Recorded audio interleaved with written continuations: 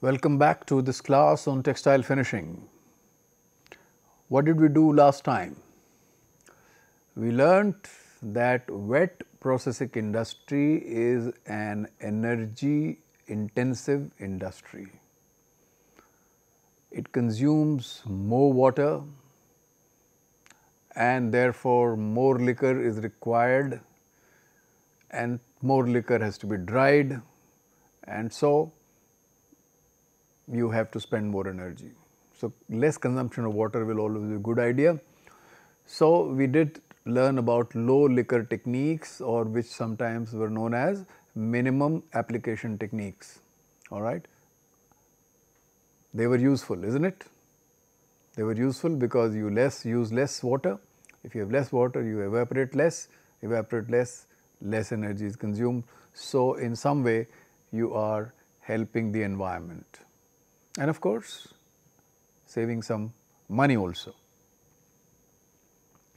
So, this energy management we talked about low liquor techniques all right. We did talk about the low liquor techniques. Now, what else can be done? So, one is hot flue recycling.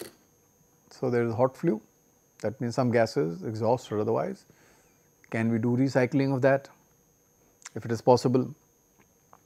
Of course, common sense prevention of steam and hot water losses and hot water recycling all of them are methods with which we can use the energy which is already there for the new process a new process cycle.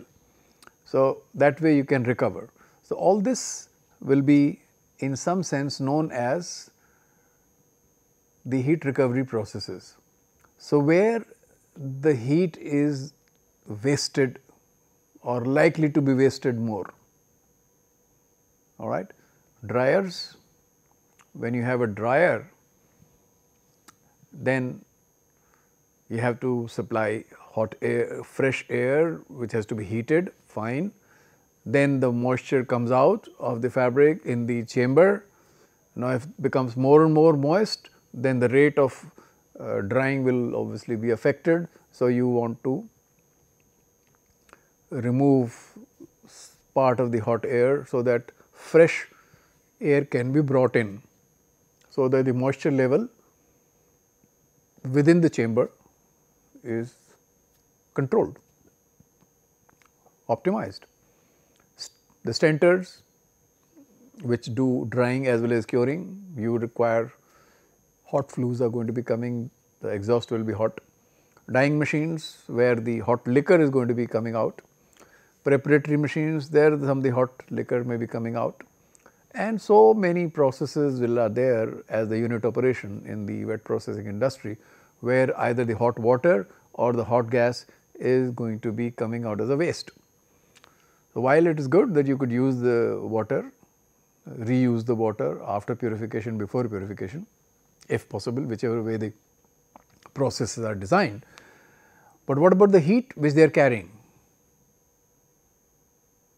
What should do that? Should this be allowed to be wasted?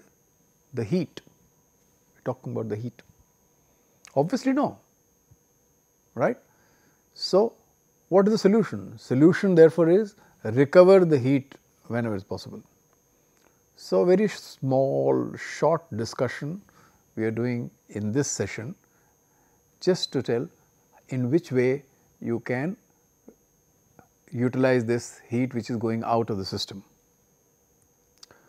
So, this in, in short is called the waste heat recovery all right waste heat recovery. So, what do we require? We require things like called heat exchangers. You must have seen let us say a motorcycle for example you are driving the heat is going out of the engine through fins you know. So, you exchange the heat so that the engine is cool that right. So, heat exchangers are the ones which take the heat away and take it somewhere else that is how you make the systems cool that is one. Radiator you understand it keeps the the engine cool, but how? By an exchange process where the water gets heated in a way so that the engine becomes cool, right. So, that is the heat exchanger. So, we know in our daily lives we do use heat exchangers to transfer the heat from one to another portion, right. So, what is to be done, you know? So, the waste heat will go from one direction, the, the fresh air may come from the other direction. For example, in a dryer or a stentor, as we said the humidity levels inside the chamber have to be maintained. So, if you throw out something because more humidity has generated fresh air will come, the fresh air is at room temperature alright. So, you may like the fresh air which is at room temperature should first somehow come in contact with the waste air exhaust air which is going out so that they can exchange heat. If that happens life will be easy. So, how do we do? So, the two ways people sometimes have been doing it one is co-current flow that is the the gases which are going out or the liquid which is going out and the liquid or a gas which is coming in are actually flowing in the same direction that is called the co-current flow. For example, this is a temperature of the let us say outgoing liquor, outgoing I can consider a fluid uh, which is coming from the process, alright.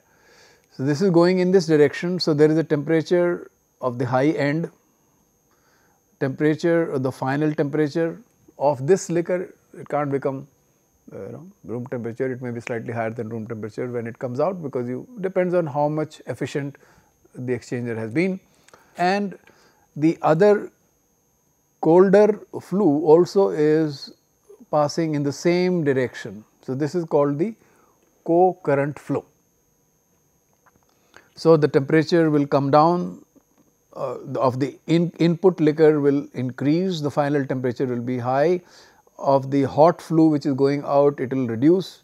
So, at some stage you will have this temperature will be higher than obviously this temperature. So, you would have exchanged some heat and this will be the input to the next process for example, then it is a good idea right.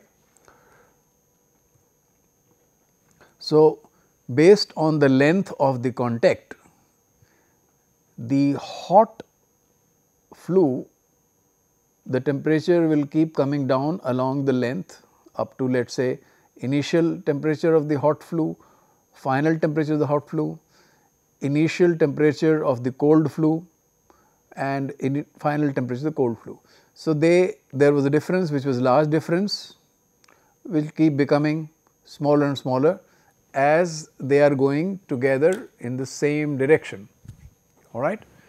So, what happens is in the beginning the rate of heat transfer will be high, but at the end the rate of transfer heat will keep on reducing as the length becomes more and more length of this transfer system becomes more and more the rate of transfer will keep on reducing further and further because the difference between the two will keep coming down right. But if it is infinite hopefully the temperature of both the outgoing and the the, the, the waste as well as the useful uh, flow flow will be the same, but you may not like to go to those kinds of lengths.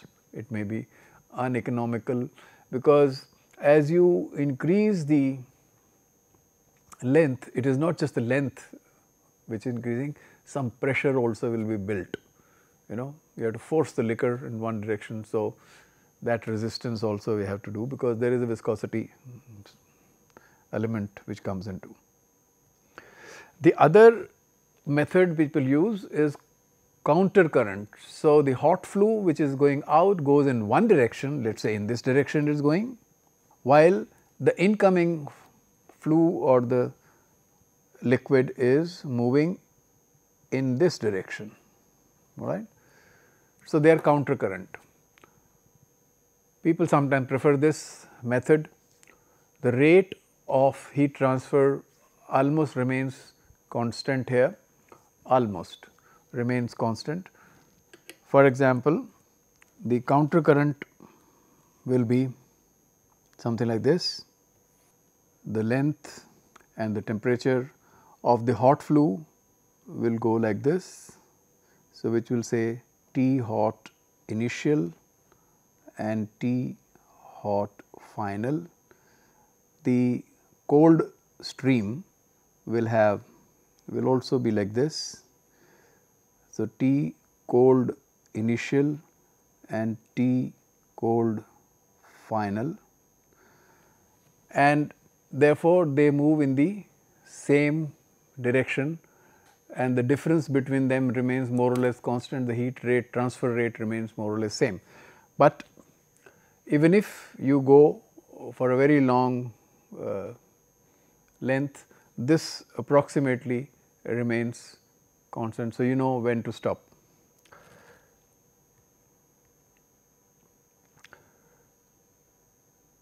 So, so we there can be advantages and disadvantages of both the co-current and the counter current uh, processes, uh, but both the things can be used based on the requirements, what is the temperature difference and how much can you afford, the length.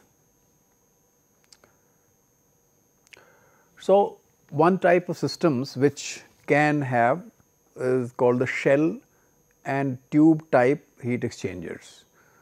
Now, this the so called red area you see is a shell through which the blue type of things are tubes moving. So, you can have the hot things coming the waste coming from this direction from in the shell and going out in this direction and the cold things for example, entering in this say we are looking at counter current. So, this cold one is going and co this is out right. So, they can flow in the counter current direction the temperature exchange will take place and uh, one would be able to utilize the heat. Now, this can be used this kind of system can be used for liquid liquid, it can be used for liquid gas, it can also be used for gas and gas also can be used.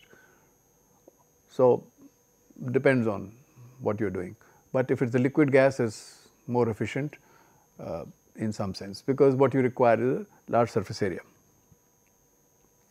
So, the tubes pass through the shells which are the tubes, these are the tubes passing through the shells. The fresh liquid is in the tube the waste liquid is in the shell that is the normal arrangement, normal arrangement. It could be liquid or a gas as I said. There may be baffles like these black things that you see these baffles, these are the baffle plates. So, the liquid will have to go in this way, go in this direction and then go in this direction and then like this and like this and come out. If it is these baffles are not there then the liquid can just pass in one way, but now it has to go like this. So, that is the way it will travel in the shell itself. So, that there is more chances of coming in contact with the tubes which are carrying let us say the cold uh, fresh liquid or a gas which has to be which will be heated up which will get the exchange of heat. So, surface area is important. So, how many tubes that you have?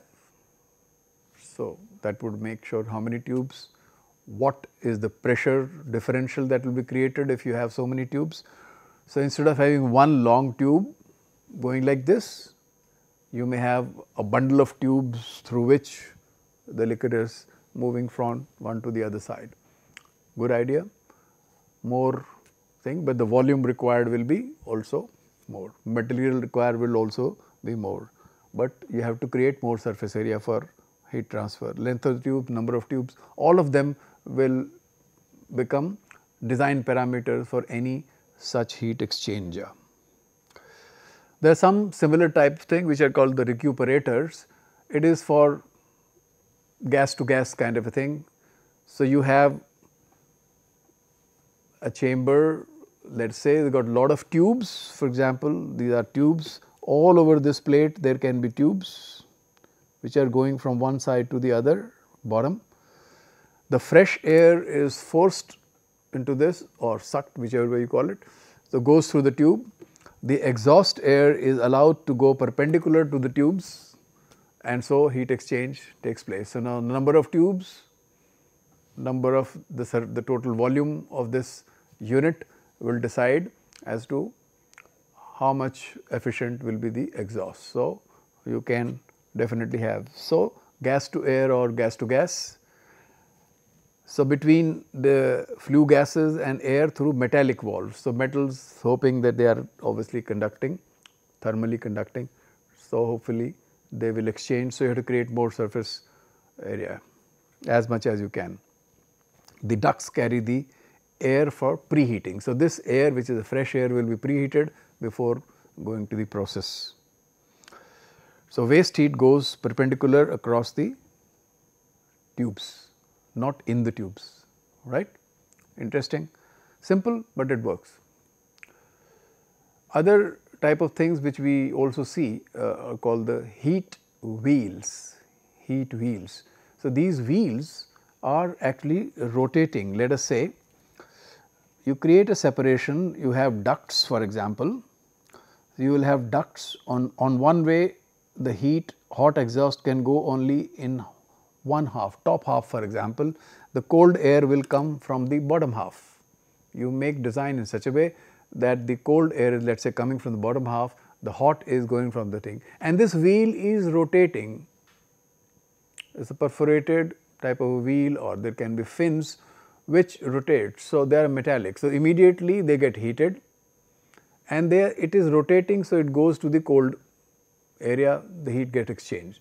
So, it is rotating wheels while the hot air goes from one side the cold air goes on the other side and the heat exchange takes place. So, low to medium uh, temperature waste recovery systems uh, sufficiently efficient, but not very high but not too bad either. You can look at about people claim that about 85 percent efficiency can be seen. So, it all depends on how many fins, what is the perforation level, how much contact area actually, you can large number of fins. So, this wheel keeps on rotating. So, hot portion of the wheel goes to the cold portion. The hot air makes this top portion for example, here as a hot continuously and this continuously gets cooled because the cool air is coming from the other side continuous thing. Of course, there can be some contamination because they are fine perforated or fins you have to clean time to time, but it will be interesting way of heat exchange. The another interesting uh, heat exchanger which is a sealed tube type where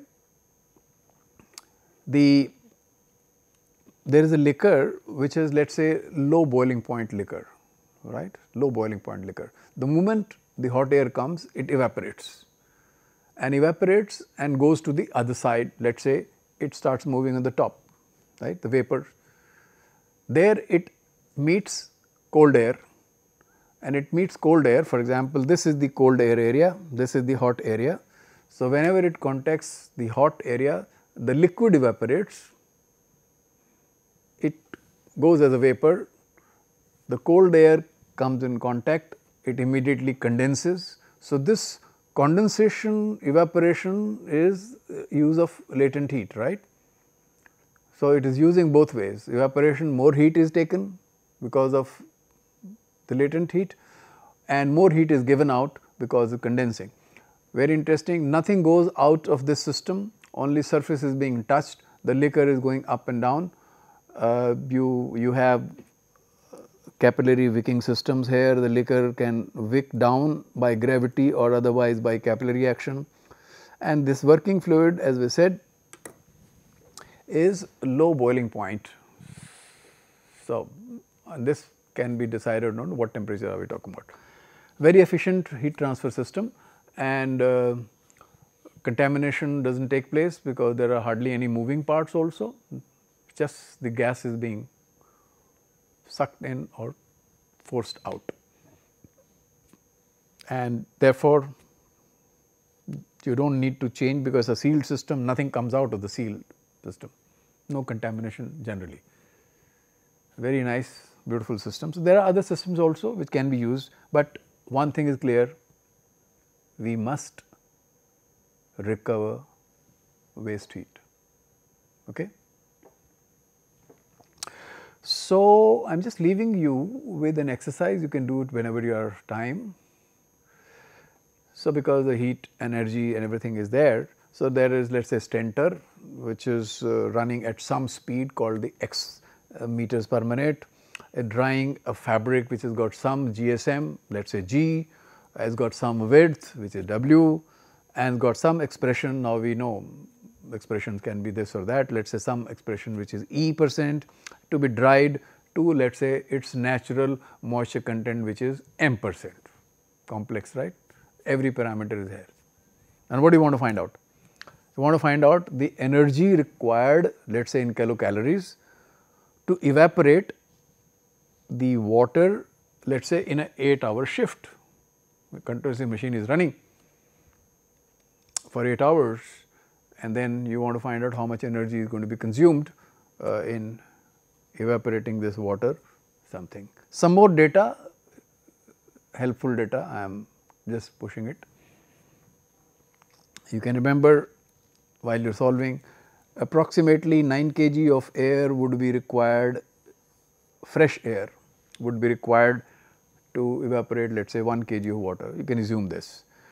Then the specific heat of water will be required, specific heat of fabric will be required, specific heat of air will be required, the specific heat of steam will be required depending on what are you doing, what temperature the fabric is coming out, what is the temperature of the let us say stentor which may be more than 100 degree centigrade, uh, the latent heat of vaporization, uh, the temperature of the stentor uh, can be more than thing. So, 100 degree centigrade. So, you have temperature stentor. Temperature of the fabric is the same as that of stentor that is Ts and the temperature let us say is measured in degree centigrade. So, if this is the data with you can you fill up any kind of values and keep calculating uh, the, the amount of energy required to evaporate water uh, through a stentor. Okay? We can call this any drying machine for that matter, right. So, what have we learned?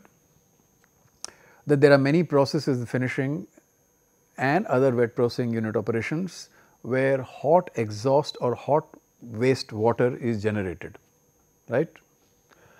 One must not let the heat go to the environment which is very unwise. Heat exchangers can be involved, installed in the process systems. Various types of heat exchangers available. One, some of which, some, some we have discussed. So, you can always choose a suitable exchanger for your own processes, but must use. In the next class, we shall consider principles of some of the finishing machines, you know.